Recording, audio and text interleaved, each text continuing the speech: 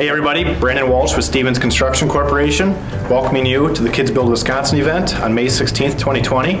For registration, go online, kidsbuildingwi.org. Stevens has been in, a, in the event for three years now, and we're looking forward to seeing everybody, and we love seeing all the faces.